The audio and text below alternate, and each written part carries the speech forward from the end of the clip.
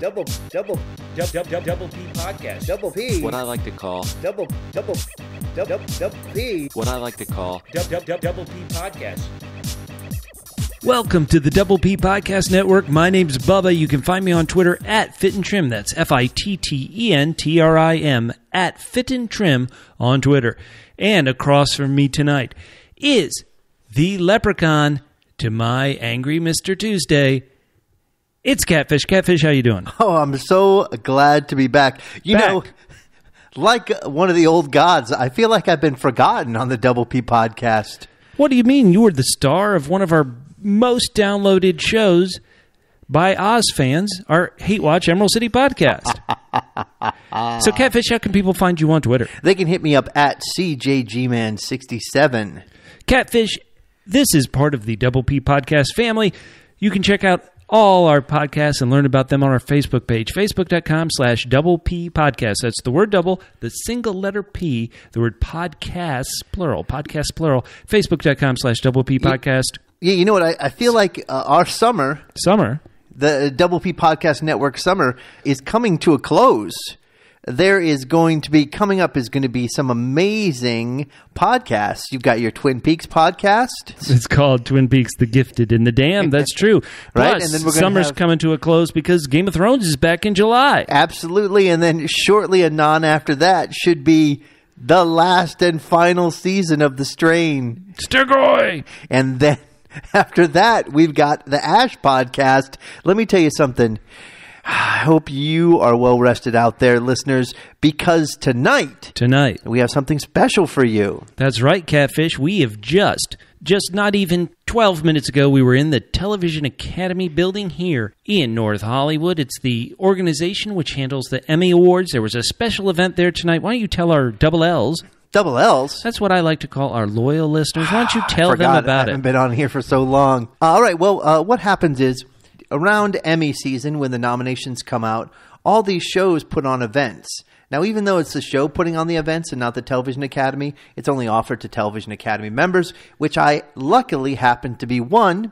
And so this is the season for going and seeing either the first episode of a new season, the final episode of last season, and then there's a nice panel discussion uh, with the actors and the creators, and then usually there's some nice uh, free food and drink. So it's a very lovely season. It's not a season to be losing weight.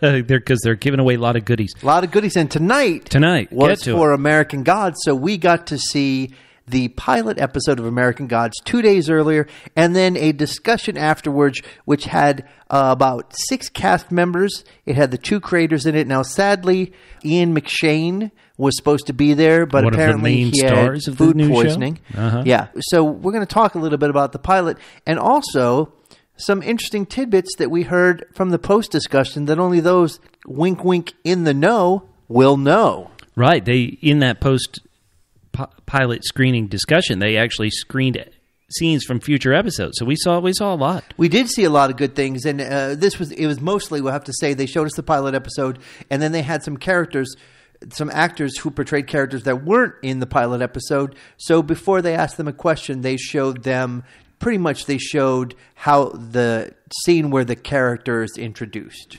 I just want to tell you listeners right up at the top that the first part of this podcast we're going to try try to stay as spoiler free as possible. But then after we do a lengthy discussion about this premiere episode and the great event we saw with the actors at the Television Academy, then we're going to jump to a spoiler filled section where we are going to spoil what we found out about upcoming episodes, and that includes some spoilers that book readers may not know. So we'll give you a chance to jump out, but if you want to know some juicy details from the cast, from the producers, and from actual upcoming scenes we saw, stay tuned all the way until the end of the podcast.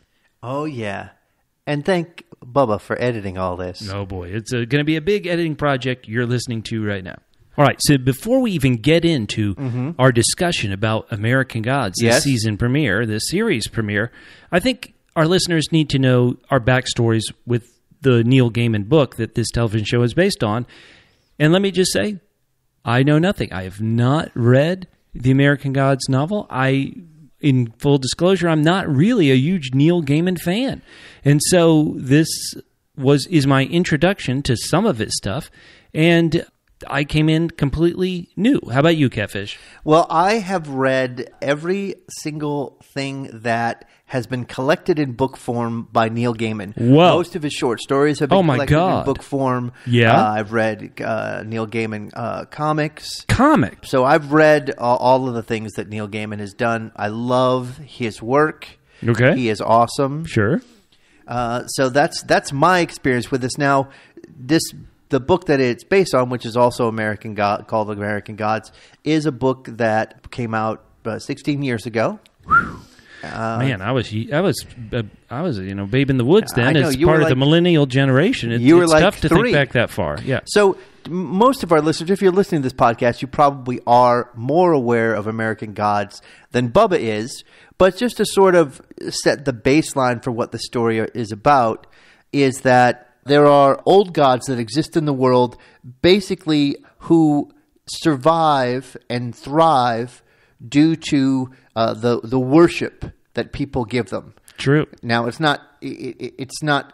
And again, it's been a while since I read the book, but it's not clear to me whether these gods are actually created by people's belief in them, or but but it's very clear that if belief wanes, the gods weaken. And so the old gods are in a bit of a tough scrape now because pe- less people believe in them. And now we have these new modern gods. We have media gods. We have gods that are associated with technology that we have today. So this is sort of a war. It's kind of like the new gods are looking to extinguish the old gods who are barely hanging on by their fingertips. So that's the essential thrust of the story. Catfish, let me just jump in right now. Do it. And say that the way you just described it is more than this pilot episode gives most people. If you're coming in completely cold, you can maybe begin to find out some of that stuff, but they're coming in cold. They do not hold your hand. They don't, which I think is cool. And I had asked you whether you found the pilot to be confusing. Myself, having familiarity with the book, I didn't think it was confusing. I thought they made a very clear explanation of that theme with the appearance of Bilquis. Her first scene sort of lays out that situation you know in particular you could you could see what's happening in particular and not quite get it but if you sort of get the general idea Bilquis's first scene shows okay that gods the old gods are refreshed by someone's belief and faith and worship of them Gotcha. All right, so let's get to it. This is the pilot episode. Let's hear Right. your ranking out of 10. What are you going to give American Gods episode 1 from Starz? okay i'm going to give it i'm going to give it 9 what i like to call double c's Double C's? yeah christ on a cross Oh, is a letter that is in Christ on a cross. And so it's not a C O C, it's a double C. Interesting. Yeah, yeah. Christ. The, the the small words don't count. Oh, I, uh, I'll let of, the, and, or. Con- I'll let conjunction junction matter. know that you don't care about it. Okay, so, So that's a great high rating. I will. Eh, there, I did have some issues with it, but let me get to your rating, and then we can talk in in general. I, I don't know how much we're actually going to. Since we didn't get a chance to kind of make notes, etc., eh, we're just going to give general impressions and, and kind of tidbits of information without doing our standard like full breakdown of it. Sure. But before we, get into why I gave it nine double C's, Don't you mean COCs? no, that would be if you want to use them all. It's a coac. Oh, okay. You forgot the uh. As it's double you. C's. Christ on a cross. What did what did you? How did you rate this pilot? Well, as the Neil Gaiman agnostic, as the American Gods non book reader, I'm going to give this episode eight of what I like to call double V's. Double V's. Well, double V's is something, you know, I'm out here in Hollywood, catfish, and double V is a Oh, I didn't realize that. Double V is a phrase uh, we Hollywood types like to use when we talk about vagina vanishings. and so, eight out of ten vagina vanishings, it was good because I read some reviews. Let's be completely honest. Because I read other media critics' reviews of American Gods ahead of time. They kind of set up the story just as you just did. And so I was able to just roll with it. I do have some serious issues that, in some ways, maybe the idea was put in my head by other television critics. But let me say, if they had gone into the second episode and, and, said, okay, that's the pilot, let's look at the second, I would be like, let's go. I have a feeling if they had shown us the second based on some of the scenes we saw from the second episode in the panel discussion after the premiere, I would have been like, okay, let's go straight to the third. Let me say something. They were agitating tonight to get nominated for Emmys. Oh, I yeah. believe they are out of the uh, window to be nominated this season. But if they truly are trying to get nominations this season, that means I would be able to go online. They put most of the we. st- I still get a crud load of DVDs, Mm-hmm. but now they put everything online too. If they're really trying to get Emmys this season, and I could go online and watch the rest of the episodes, I would do that as soon as humanly possible. That's how interested I am in this because I felt that it was very sure-footed. I felt like they knew what they wanted to do, and I felt like I was in good hands. The main problem I had with it, The was, reason why they didn't get 10 out of 10, the reason why I got 9 out of 10. yes, was that they are in love with the longest of long scenes. Oh, yeah. I'm they glad you mentioned love long scenes, and to me, the two long scenes, I loved the scenes, and then I got to a point where it felt like it kind of ran out of energy, and I wanted the scene to be over and move on to the next. Catfish, I scene- completely agree with this point, and I, I felt that way too.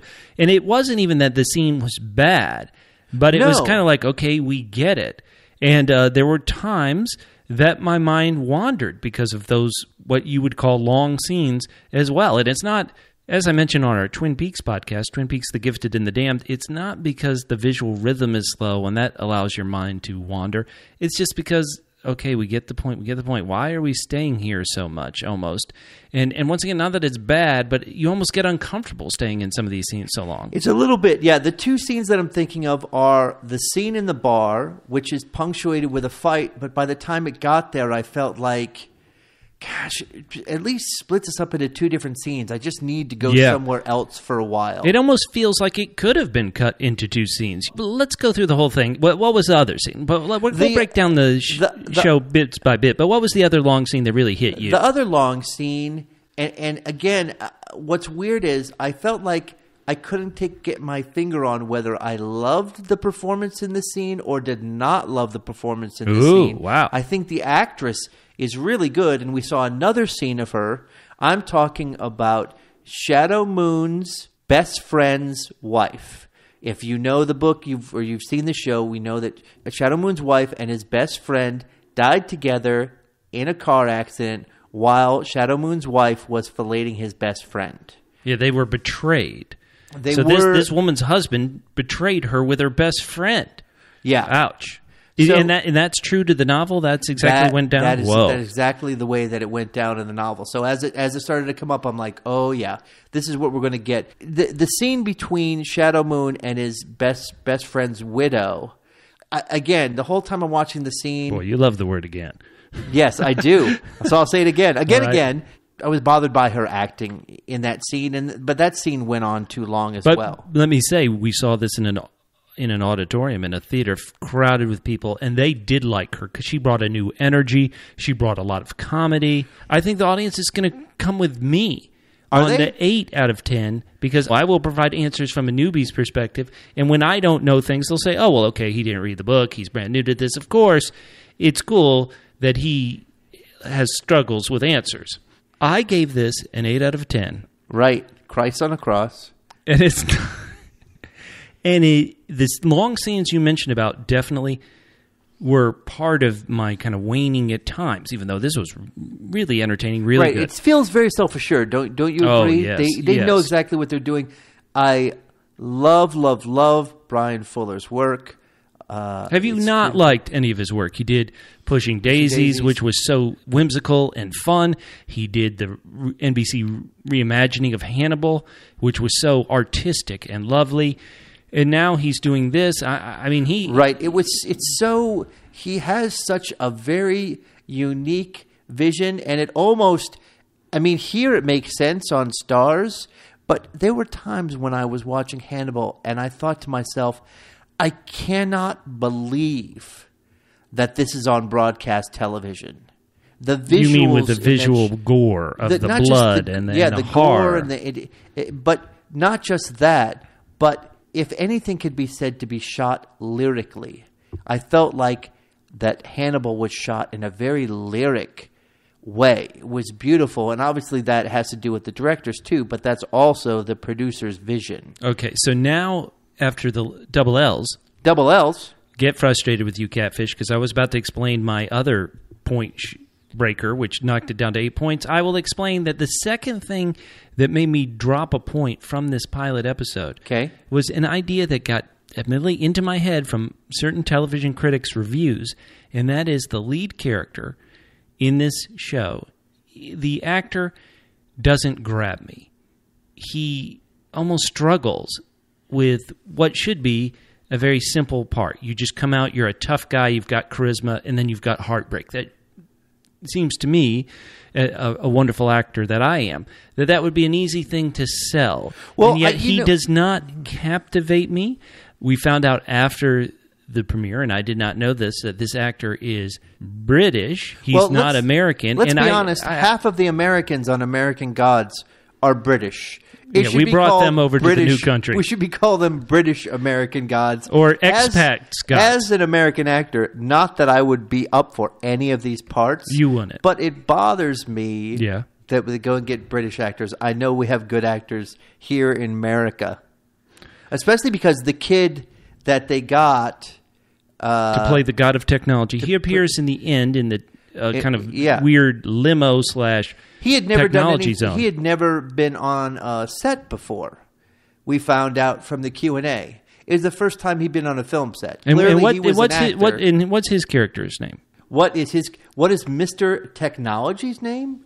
Yes, thank you. That book reader, I'm glad you set you up with a softball there. Okay. So, look, let's get down and just go through it beat by beat. It opens, once again, it's throwing you into the world. It opens with a voiceover talking about what we would call the Norsemen, the Vikings, Right. even though the Vikings were Danes, history majors. The Norsemen, and I don't think this is Leif Erikson, but the precursors to Leif No, Erikson. they said that Leif Erikson showed up hundred years later and kicked ass. Right. So these Norsemen coming to quote unquote the New World, North America, and they bring their gods with them, but their gods don't seem to help them at all in this new land where they can be hit by Native Americans. Well, clearly the arrows Norse, the. Norse gods believe in, and it's funny too because Anansi says the same thing.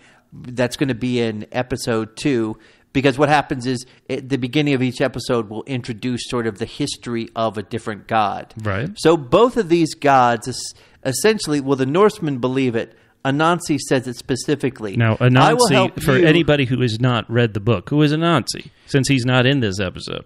He is the uh, a god that the Africans believe in. That is a spider god. Excellent. He appears in episode two. So Right, and that is played by Orlando Jones. Again, he was another one they showed a clip. He's- oh, he was great. He was amazing. The Norse god, the Norsemen believe our gods help those who help themselves. So they decide the first thing we need to do is sacrifice one of our eyes. Right.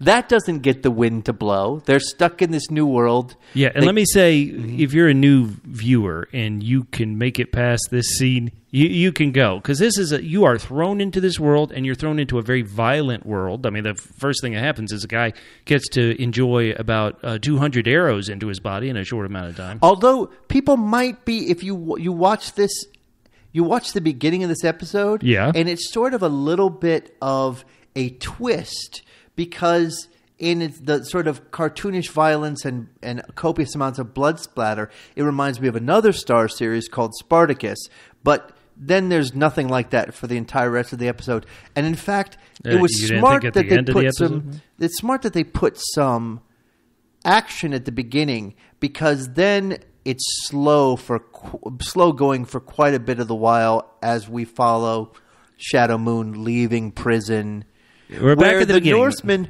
first blind themselves, they make themselves the one-eyed king, and then they decide, oh no, our god loves fighting Right. more, so then they fight each other in a battle. Uh, where we're not not realizing that uh, when they when they finally row back home, that they're going to. They're going to have to do twice the work because they end up killing half of each. Half of the crew ends up dying, and then the wind finally blows. visually the way they would show the wind blowing by the sand uh, pouring out of that bag. I, I thought that's your first clue to this being a very impressive visually show. You know, this is a, a trademark of Bryan Fuller. And oh man, was this crazy! So then we get to meet Harvest Moon. Shadow Moon. Then we get to meet Shadow Moon, and he, It's explained that his mother it was a hippie, sure, sure, sure. and so of course, if you put the if you say the last name first, it's Moon Shadow. Ooh, I like that. Watch him be the Moon Child. They said it. Mr. Wednesday said it to him on the plane. that's true. So this Mr. Wednesday. So this feels like a typical kind of setup to a TV show. Oh, it's a guy's getting out of prison, and then he gives uh, uh, you know some kind of surreal imagery. He has a vision, a dream of his wife up on the ceiling of his prison cell, saying, "I love you, I love you, Shadow Moon," and all this stuff. And then, okay, the nice twist. well, first, you first you have to explain is he had a feeling. He kept saying, All right. "I have a feeling like something bad's going to happen. Like the weather needs to break. Like something is And building." he keeps saying a noose. You know, he's he's let out of prison and he he is struggling. He wants to fly home. He's got to be there at least for his wife's funeral. These are all kind of I almost want to say tropes of certain types of films of uh you know the guy who gets out of prison and then is is corrupted to go back to crime and that, and that's something I think viewers anybody might be familiar with. And then which he, is why I thought it was so it was smart for them to start with some action because because it was a trope. It was almost like all right, let's let's move on. Sure. He goes to the airport. He sees the right way to talk your way onto a flight early. And let me say that we are recording this now at the end of April 2017, where throughout the news of the last several weeks is many people having problems at airlines. So this, boy, things are lining up for this show to really hit a cultural zeitgeist, huh? What I would like a little bit more in this show is a little bit of humor to leaven some of the stuff. And the moment where he flashes back to his friend in prison, giving him some advice while they're building birdhouses was great. Where he was like, do not. He tells him this story about how a guy ended up back in jail because he messed with a, one of the uh, airline personnel at the ticket counter, and he tells him a story about how the guy messed with this woman and then ended back in prison. He's like, "Oh, I, Shadow Moon says, I understand what you're saying. You, you you have to act differently when you get out of the world." He said, "No, no, no. I'm saying do not mess." With the women at the ticket counter. So that was a funny moment, and I'd like to see more of those. That's where he gets introduced to this man who introduces himself as Mr. Wednesday, a guy He who doesn't really. He just says, he says, "What's your name?" And he says, "Well, what day is it?" He says, "Wednesday." Well, yeah, let's just say it's my day.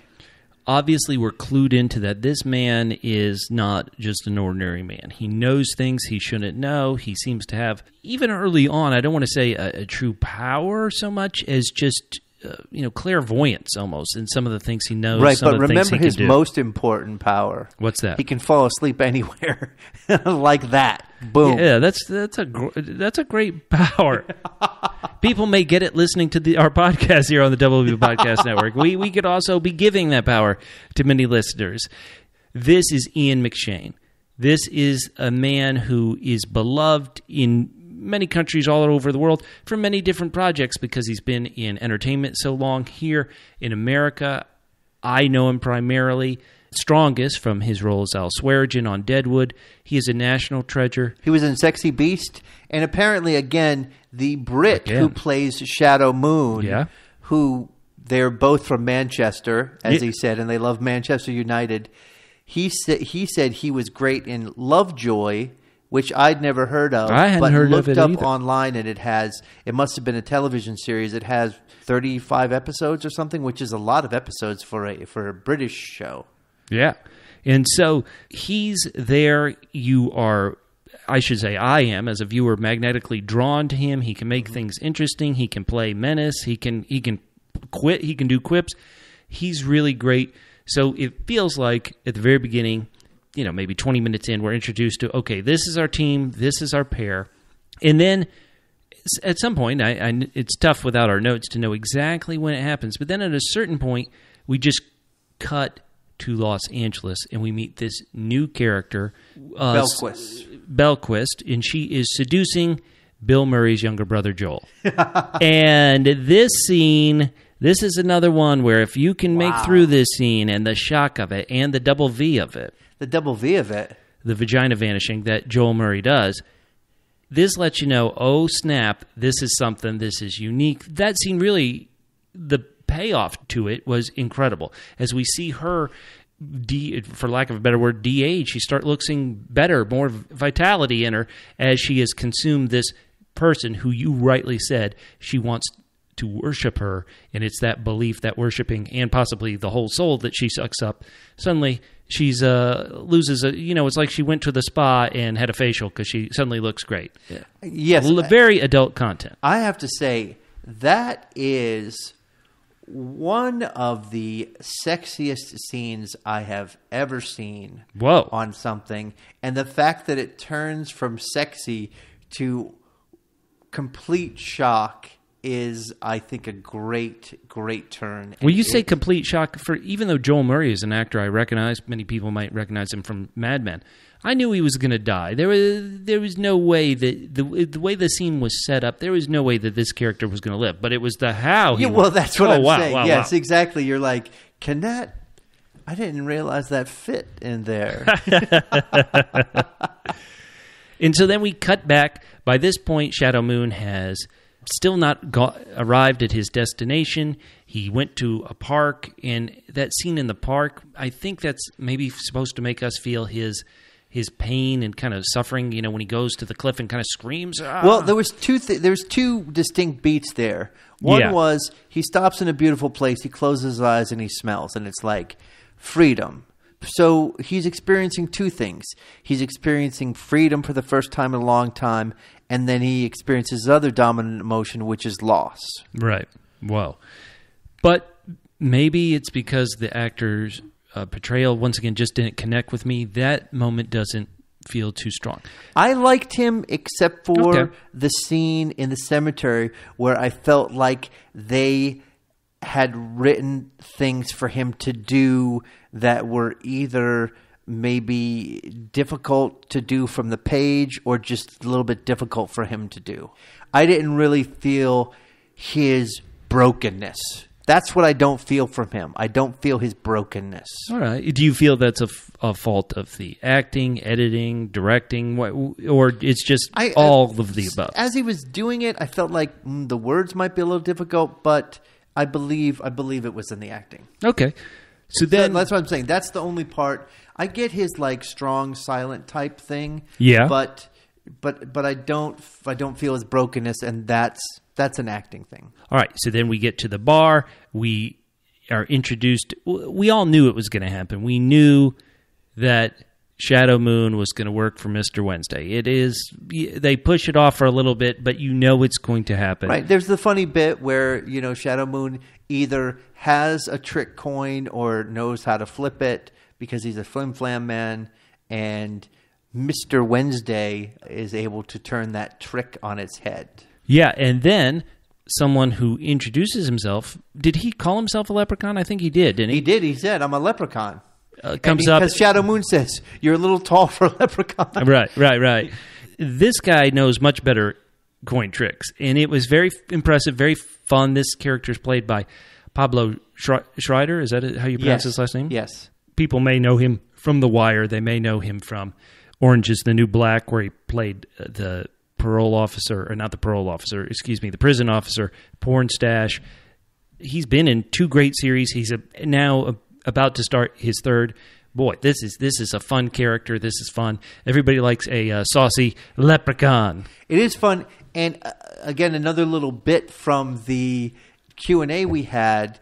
Obviously, when you say there's only one book, even though it's a big book, how are you going to expand this out?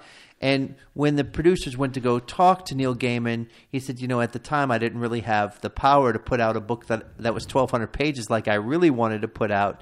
So apparently, he had a lot of story for the other actors. And in fact, he had written a backstory going back 600 years for Mad Sweeney, uh, just separately from the other material that he wrote for the book. So they're incorporating. Sounds to me like they admitted they are incorporating a lot from what Neil Gaiman told them as far as what was going on that was not captured in the book, but that he had either written down or had in mind, and then they added some of their own things.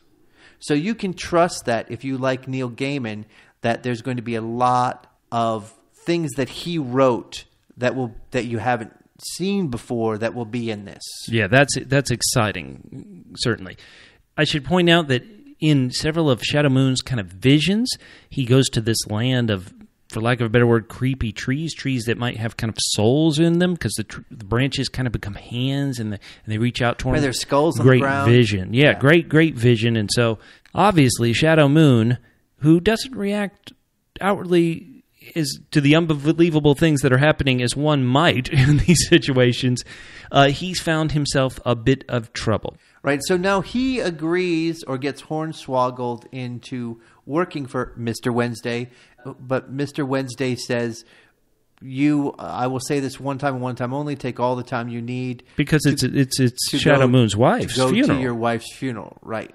So the, he does go to the funeral, and that's where he finds out the unfortunate way in which his wife and best friend died. I guess if your wife and best friend have to die, it's good that they were enjoying their last moments together. I would say that as soon as I saw the newspaper, which had a picture of both the wife and the best friend dying in a car crash, I could see this coming. It still didn't take away the power or what should be the pain for Shadow Moon from that scene. It's just, once again, you could see the writing on the wall, but it's still enjoyable. Shadow Moon finds out the truth about his wife's final moments from his, I guess, his, his best friend's wife. They then go to the funeral, and there's a bit of a Twin Peaks moment as the casket has trouble going into the ground there. Right, right. At is it Laura Moon's funeral? And then we have the scene. Is this the scene you were talking about that just felt like it went on too long, where the where Yes, the friend's wife tries to d- seduce Shadow Moon to get her revenge? Yes, exactly. And as I said before, I was a little concerned by obviously the actress, you know, the the character is said did she say she took a lot of Ativan? What did she take a lot of? She said she took a lot of obviously depressants, so that would affect her, but I I still was a little it felt just a little over the top to me for the rest of the performances we were seeing. So we see the coin suck into the ground. One of the angry leprechaun's coins sucked into the ground. The fresh dirt there. right, Laura the coin Moon's- that Shadow Moon presumably won by beating Mad Sweeney in the a fight that we didn't see the end of. True. And then a make sure I'm not jumping too far ahead, but then it feels like we come to the end section where Shadow Moon is walking back from the funeral. Uh, where to in particular? Maybe he's just so depressed about this tragic turn his life has taken that he's walking off i- i- to get some space. The lights start turning off. The street lights stop, start turning off on the street he's walking, and then what maybe looks like fireflies, but certainly we know couldn't be fireflies, start all kind of forming in this little object on the ground. Shadow Moon goes up to it, it jumps on his face, and this is where I felt like, okay, if I hadn't read those pre show reviews, I might have been able to roll with everything so far. But this to me, even though I, I guess I understood, okay, he's got to meet some new gods, this felt like the complete left turn. Like, whoa, wait, what is going on? Suddenly we're in an episode of Legion, and we meet, was it Mr. Technology? Technology boy. Technology Boy, yeah. And uh, even though it was still enjoyable in that character, I loved his uh, curl of hair on his head. I tried to do that with my hair sometimes. you know, once again, we entered complete fantasy land. This is where Shadow Moon, if if he hasn't already, this is where he should be really freaking out and saying, "What the blank is going on?" The only excuse I'll give or rationale is that the uh, technology boy is is uh, s- smoking the uh, the psychedelic uh, toad skin uh, pipe. I don't even know how to describe it. And so, presumably, Shadow Moon is affected by this as well. Again, I don't I don't mind him being stoic. I just feel like there's some other colors that are missing. That didn't bother me there actually. The the stoic archetype is fine for me. All right, so let's let's just get through it. He's attacked by these faceless. I almost want to call them drones. These did they have a name? I'm sorry if I don't remember. I these, don't remember these. Uh, obviously, manifestations of this technology, kings of I, power. I think they're technology boy interns. TBIs. yeah, and now you have to pay them. Thanks a lot, now, Trump. now not hiring interns for Technology Boy. Not only do they beat the living crud out of him, they also uh, string him up. Right. So there's a there's that rope that noose, Shadow yeah. Moon had seen before, and what's sort of a little bit interesting here is that this means something a little bit different than it would have if they had cast the character as ethnicity as it is in the book, which is not African American. So Oh, the, the, there, he's specifically not African American in the book, or he's just I don't believe I don't believe he's is mentioned, but I think it probably would have been referenced if he Okay. wasn't. No one says, "Hey, Whitey," but yeah. So this this character I don't believe is African American. And then they leave us on a bizarre cliffhanger where he's saved, where somebody cuts down that rope, somebody destroys those other things. or shoots the rope or whatever. right. You Yeah. would assume, I would assume, as the newbie, that this is Mr. Wednesday coming to save his new right hand man, but we'll see. Well, It- the question is, I think the question would have to be for a viewer who hadn't read the book would be now where did that did that beating happen in the real world?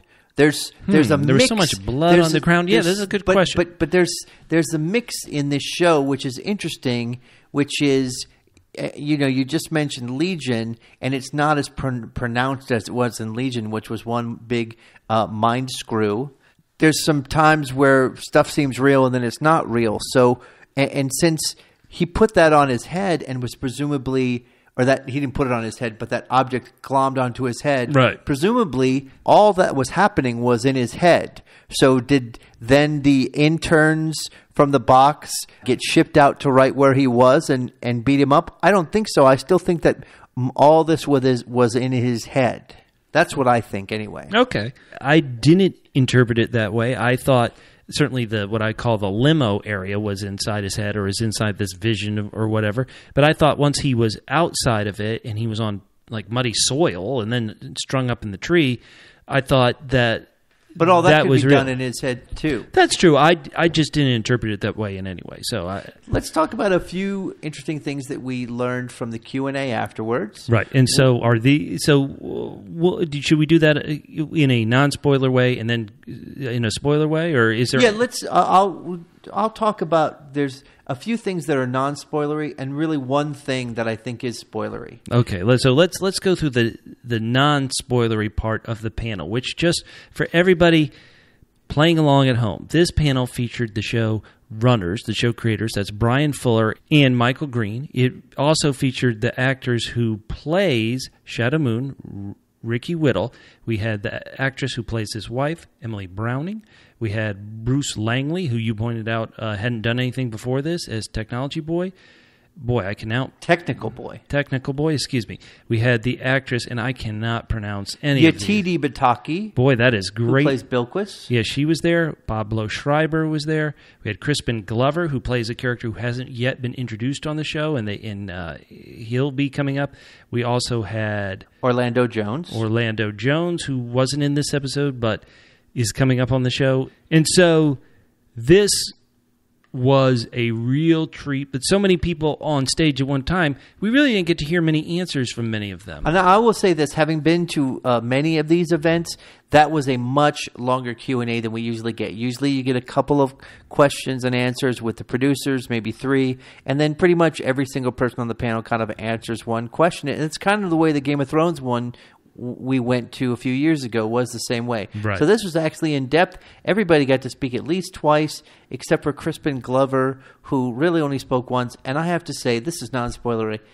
He is a fascinating dude. He, there's something, you know. There's, I believe, there's two ways two main ways you can get noticed as an actor or performer. And one is is you just blast everything out there. You're full energy. It's kind of a Robin Williams kind of thing mm-hmm. that's captivating. Yeah. The other way you can be captivating to somebody is you're quiet. You're you're kind of within yourself, and because of that, people are drawn in. They kind of lean forward. They have to like focus, okay, because this Right. person is giving so little, but he is so fascinating. And the producers, Bryan Fuller and Michael Green, told a great story how they met him at a restaurant. A coffee shop, I thought it was in Silver Lake. Right. And he shows up on his bicycle. He's wearing a velvet suit and a hat. Yeah. He gets off his bicycle, and when he goes to walk in, he takes his hat off as a gentleman would. That's exactly how Bryan Fuller said it before he walked in to the restaurant. So they had they said they we they had to put that into his entrance onto the show Right. because the taking off of the hat was so amazing and the clip that they showed of him even though it was short It was short, but he was intense. He was great. my God, he is. There's going to be such great performances on this show, and again, I do agree that the center of the show is not as strong as I would like it, uh, but the tangential performances are just amazing. Incredible. And so let's talk about just some other things they talked about in the panel. It turned out that only, uh, I'm going to mispronounce her name again, Yatiti, is that how you say it? Yatiti Badik, Badik, Badika? Badika. Yatiti Badika and Orlando Jones were the only ones of this panel who had, only actors on this panel who had read the novel before they started doing the show. And that was interesting. But when they asked the audience who was watching it, they said, How many people in the audience have read the novel American Gods? It felt like 75% of the audience had read And it. I'll It was t- a lot of hands I'll- went up. I will. I will tell you why that is. Because, again, because it's Emmy season, there are like five events a week for like a month and a half, two months solid. Mm-hmm. You could go. You could go see something five days a week. So there's a little bit of fatigue. So because it's a show that hasn't aired yet, so people can't get excited about it, and also because it skews a little bit younger than I think a lot of Academy members are. Okay. That the people who were showing up were showing up because they love the the intellectual property American Gods. Right. So that makes more sense. Now Orlando Jones told a great story how he was was desperate to do this. That in fact, uh, years ago he tweeted out that he wanted to be that he wanted to be a character on this show. And sure no, enough, he wanted that he specifically wanted to be Mr. Nancy. In fact, he in a tweet he had sent a picture of him dressed as Mr. Nancy, pointed to a sign that said Mr. Nancy. yeah, and didn't he tweet that towards, or Neil Gaiman saw it somehow, Neil right? Gaiman saw it, started following him, and so you know they probably probably got word to the to the producers. And again, this is a spoiler because if you don't know that Orlando Jones is in it, but he opens up episode two with an amazing performance. amazing yeah monologue that he gets to deliver and he is just great. If people know him as kind of his comedic persona as, as he is in so many of his parts this guy is is great in this. It's almost eye-opening about how but good see, he is th- and this. is why I think that comic actors can do dramatic performances because I think to have a, a, a really strong character, you need a kind of sense of timing and pace and, and, and deliciousness and fun that is missing from some performances, maybe even in the show. all right so catfish any other non-spoilery points that you wanted to make from this wonderful panel we got to watch Yes, one other. They did, in fact, say, and I, I think they said that Starz recommended it, that because they're showing some nudity in this show, they're doing equal opportunity nudity. So, for those of you out there who are tired of seeing breasts, uh, there is going to be hashtag more schlong in this show. Yeah, but uh, if you're tired of seeing breasts, I think you will definitely see breasts. Is in addition to the breasts we saw in this you episode. you will, but I'm saying you'll for for Somehow you- it'll be balanced for out. anybody who is tired of of, seeing of only seeing breasts. only breasts. okay, that's grammatically you'll be correct. able to see some. In fact, they they were talking to an actor who they were going to do nudity, and he said, "Okay, I'll do it under a couple conditions. I can't remember the first one, but the second one was he said, "Give me a beautiful schlong." and apparently it's digitally enhanced and beautiful, is what they imply. I w- what it either implied to me was that either they used a body double or they used a prosthesis, but or both. So they definitely. I don't think it was digitally enhanced. I think they gave him Oh, a I don't know. a rubber cock. Okay. Yeah, they built a lifelike rubber cock that they put over his. All right. Uh, in a couple episodes, theoretically, we'll all see this, and we'll be able to. you're, you'll decide. Right. Well, You'll decide CGI or rubber. So, okay, for everybody who's interested in this, we love conversation. Go to our Facebook page, facebook.com slash double P podcast. Tell us your thoughts now that you've seen the American Gods premiere. Do you love it? Do you hate it? Were you new to the books like me, Bubba? Were you a book lover like Catfish? We want to know. You can also reach us via Twitter. My name's Bubba. You can find me on Twitter at FittenTrim. That's F I T T E N T R I M at FittenTrim on Twitter. And I'm Catfish. You can hit me up at CJGman67. Now, for everybody who has either read ahead on the books or doesn't mind spoilers, we're going to go into a spoiler section. For everybody else, we'll see you on our next podcast. But for people who don't mind spoilers or read the books, we're going to get into some spoiler sections right now. And we're just going to continue where we were with maybe spoilers that popped up in the after show panel. Mm-hmm. Catfish, what were any spoiler things that popped up in the after show panel that struck you? Well, I, this one is going to be an extra double spoiler. Oh, yeah. This is for people who have read the book, Uh-huh, but it. don't know much about the show and don't want to be spoiled about something new in the show that's not in the books. So, if even if you're a book reader, there's something new. So, if you don't want to know about it, turn your avert your eyes and ears. In three, two, one. Okay, so they for the show created a new American god.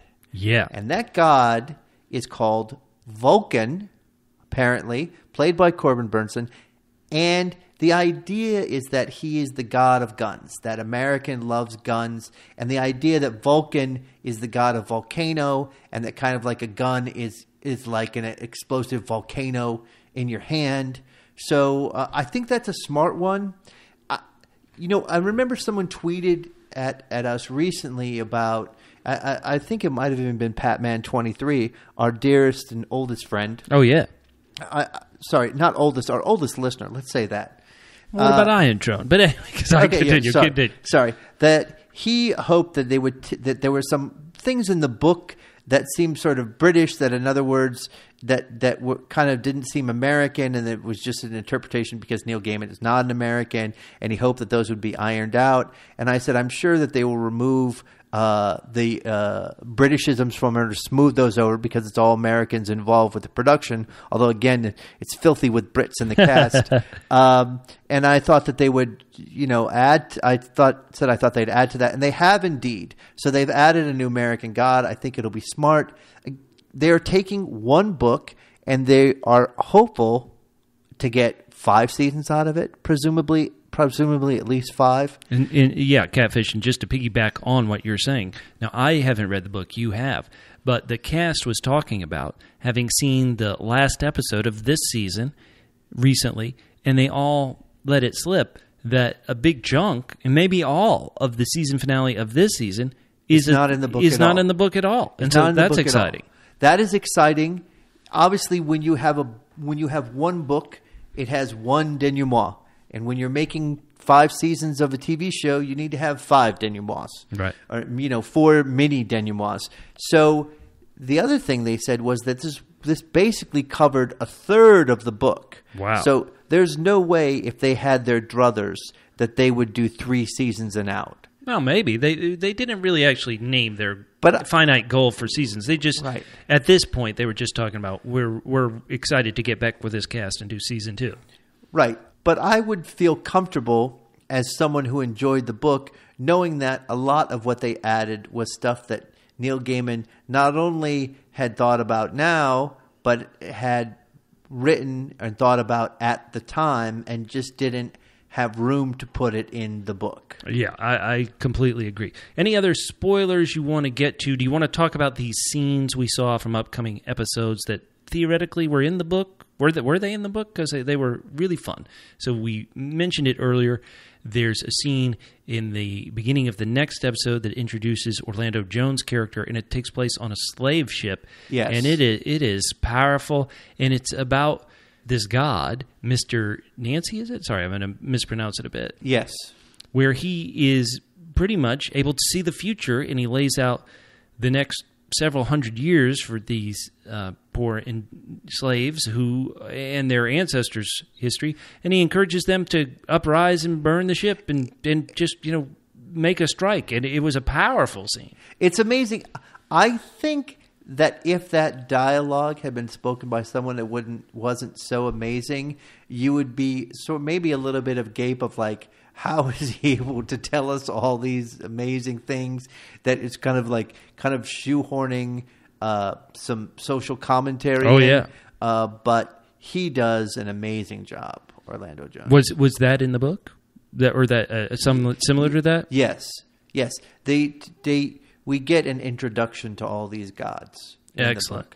We also saw a scene from the fourth episode where it turns out, spoiler alert, the wife, Shadow Moon's wife, is back, probably from that special coin, and she's having a intimate uh, bathroom discussion with her best friend, who she ch- cheated, who she fooled around with her best friend's husband, And and, the- they're airing out their differences. is a nice way to say it. The other thing they mentioned as well is that she has a lot of interactions with Mad Sweeney throughout this. Yeah, and they implied those aren't from the books either.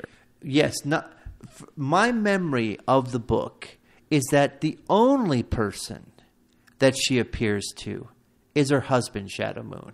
Right. That is the only person she appears No, they to. the actors and I believe even the producers implied this is going to be Bonnie and Clyde type story with Yeah. a zombie, aka Laura Moon, and a leprechaun, aka Mad Sweeney. yeah, and so that seems to be a, a storyline that we're going to have coming up. Spoiler alert on that, but it, you like those two characters presumably, so that should be fun to see.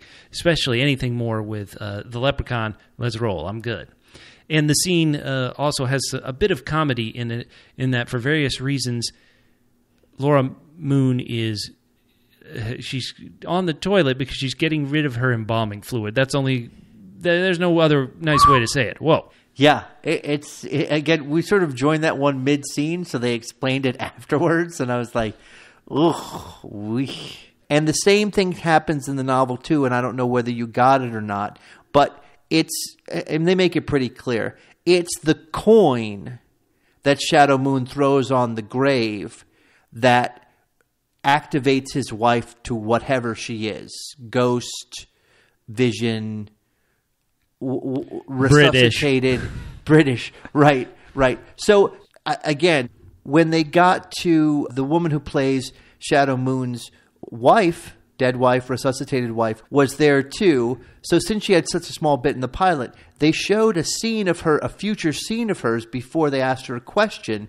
And what was amazing was the woman who she's doing the scene with is Shadow Moon's best friend's widow.